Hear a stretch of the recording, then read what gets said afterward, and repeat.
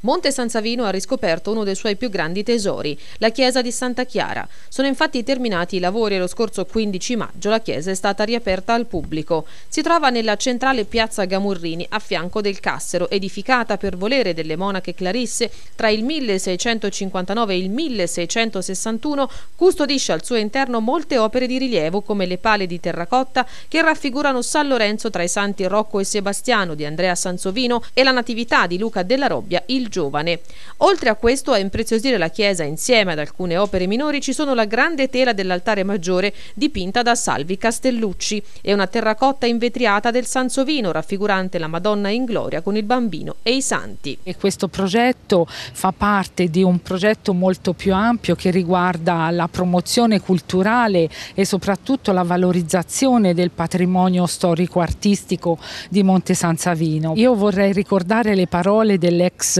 ministro Antonio Paolucci quando parla dell'Italia e dice che è un museo diffuso. Io direi che Monte San Savino è un museo a cielo aperto proprio perché nel suo centro storico raccoglie delle bellezze inestimabili, non solo di palazzi ma anche come nel caso di, della chiesa di Santa Chiara eh, dei tesori artistici come le robbiane, come le opere del Sansovino eh, che non sono soltanto opere devozionali tradizionali ma essenzialmente eh, in gran parte opere d'arte